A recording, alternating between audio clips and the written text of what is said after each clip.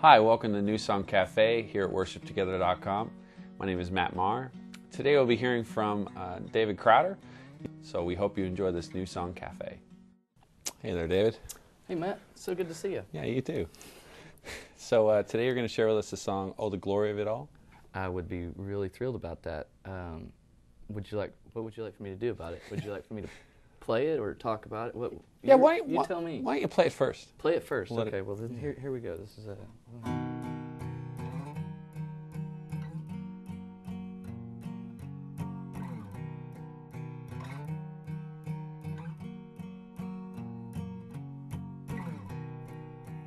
At the start, he was there. He was there.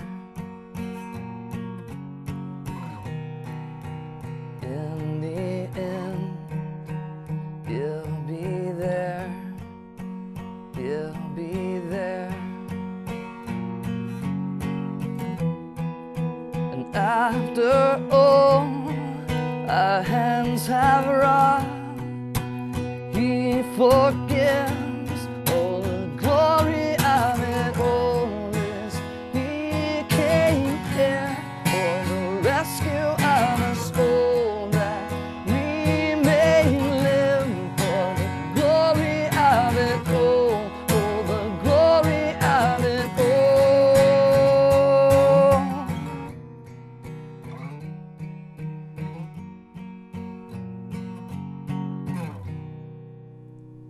And that's pretty much, uh, you know, then we got some more verse, chorus, Yeah. bridge, pre choruses, that Yeah, kind of thing. That's Yeah. great. Yeah. I love just to play on words on the chorus there. It's just um, it's just really cool how one kind of lyric kind of leads into another, which leads into another, Yeah. and the whole thing paints this picture. Well, um, I was re- what I was attempting to do. Not that it was successful, but the, just the word glory. Uh, a lot of, of the settings we've been in, you know, that word comes up a whole lot, and and uh, I wanted, you know, it means different things culturally for us, you know, and and in a Christian setting, it, it, it, it usually has one connotation, but that connotation never really makes its way into real life, you know. Right. And uh, um, so I, I just thought, let's have a, a phrase that is easily identifiable um, to start the chorus with, you know, that any, everybody, oh, oh, you know, oh, the beauty of it all, oh, the majesty of it all, just Yeah. The word glory being something that we encounter culturally, and then and then flip it once we get a little further into the chorus, and and and uh, I guess make the the uh, person that's encountering the song have to have to struggle with the meaning of just that word glory for a little bit, and even for us as as uh, believers to have to uh, just to try to simplify the word a little bit, so that I, th- I think we get a little confused when we start talking about to live for the glory of God is is such a uh, ethereal concept, you know. That Yeah, it's, yeah. it's what does that mean, you know, Yeah. to live? And and so I just I wanted to take the word and and try to put it in some sort of cultural context that was is much more accessible than just the language of the church. So That's great. that was the attempt, anyway. Yeah, well, I think you did it. That's great.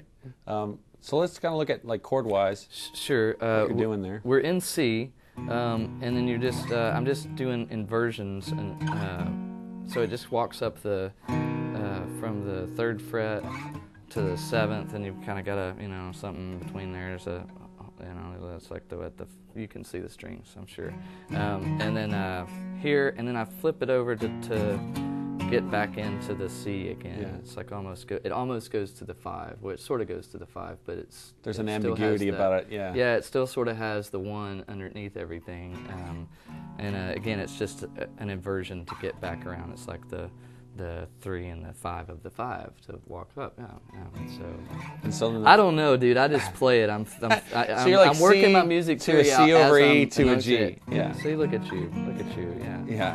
Um, and then the uh, the pre-chorus, um, it just is it just is a walk down from the F and then to the one, Yeah. and then it walks down from the one to the seven thing. So, Yeah. But I keep I keep the the tonic ringing the whole time. I like I like pedal tones, and it gets a little messy. Yeah, you the start tension, other yeah. yeah, the The tension, tension building, in and there, you yeah. let the other strings start ringing a little bit, and it's like, oh, what's happening? What's happening? Oh, it's the chorus.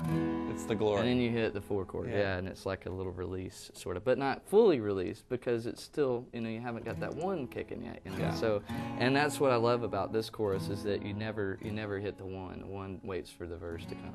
So, it's it's also musically trying to, uh, I guess, enunciate the lyric as well. You know. and, and really quick, the bridge, the The bridge is the exact same Six. as the pre-chorus. Yeah. Yep, yep. Um, and we just w- sit on it, wait, and you know, just let it build. Uh, lyrics a, a bit different, and just sort of putting some of the pieces together of the song, but it's the same chords as the as the pre-chorus.